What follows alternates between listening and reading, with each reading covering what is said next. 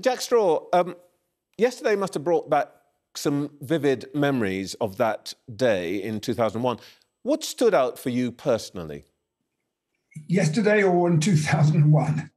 Well, when you think back to 2001, what stands out? I mean, it was it, what stands out is simply the, the, the way that everything changed in an instant.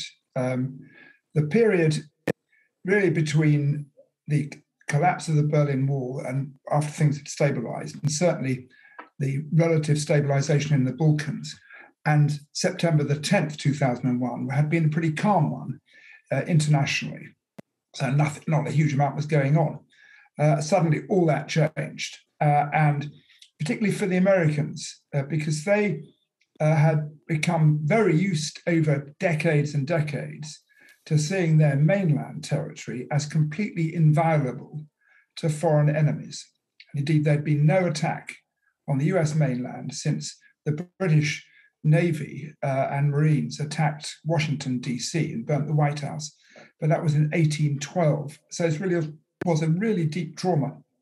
And that led uh, to the, the, atmosphere in which the decisions were made, not only uh, in respect of uh, the invasion of Afghanistan, but subsequently in respect yes. of Iraq. You, and then, sorry, go on. I, was, I wanted to ask on that day, did you fear that London would also be a target oh, at that time? For sure, yes, of course.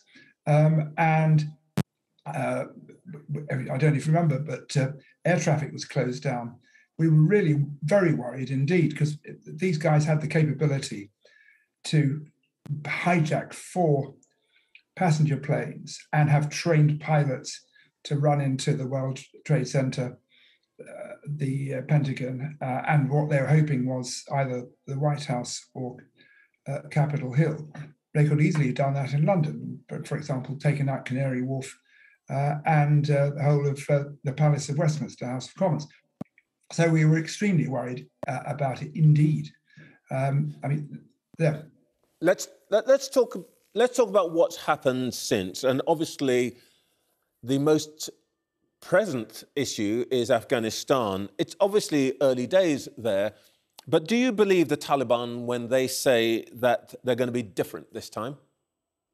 Well, I think they'll be a bit different uh, because in the last 20 years, um, the, majority, the vast majority of people in Afghanistan, particularly women, but very many men as well, have learnt to enjoy their freedoms. Um, and they're going to be resisting having those taken away. Also, the country is far more reliant on the West than ever it was. I mean, just for example, there were virtually no mobile telephones there 20 years ago. Everybody's got a mobile telephone now, and that requires reliance on overseas techno- technology. They'll also be under pressure not only from the West, but also from Russia and China. And although Russia and China want to make a point against the West, they are also petrified about Islamic, uh, Islamic extremism in their own countries as well as in neighboring Afghanistan. So they will be under greater pressure. But the question is, have they feel like changed their spots? I mean, my instinct is they, they haven't. So they'll be that their instinct will be to do what they did before a key to how they behave is the attitude of Pakistan. And it's not often sufficiently discussed this, but just bear in mind that the intelligence, Inter-Services Intelligence Directorate of Pakistan, part of their, their defense operation, has been up to its neck in ventriloquizing and supporting uh, the Taliban over decades. So their attitude matters as well. What would you What would you do about Pakistan then? I mean, what? how can the West use its influence in this respect? Uh, with difficulty, but but I mean, part, partly listen to them and take their advice. I mean, they're, they're, and because after all, uh, the reason they have this extraordinarily ambiguous relationship with the uh, Taliban and with other extremists on, on their northwest frontier is, be, is, is, is not necessarily because that the very modern people in Lahore and Islamabad and Karachi uh, support them, but they're scared of them. And it's about how you, as it were, tame this tiger. So listen to them. I mean, one of the mistakes we did make, which I now recognise, but very few of us saw at the time, uh, back in 2001, was in having no political route out of its defeat for the Taliban uh, and for those forces who supported them. Uh, and coupled with that, we decided to conflate counter-terrorist strategy, which is absolutely right, with a counter-narcotic strategy, which frankly was a, a bridge too far, which was taking away the livelihood of uh, people whilst you were also trying to get them on side on counter-terrorism.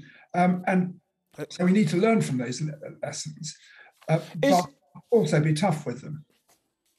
Briefly, if I may, um, is the biggest lesson that we should learn from this that uh, our approach to tackling Islamist terror has failed, and they've won because we focused on the military when perhaps we needed to do more to focus on uh, what I think Tony Blair this week described as the ideology, winning hearts and minds to the idea that the West way of life, democracy and so on, is better than the alternative offered by Islamists?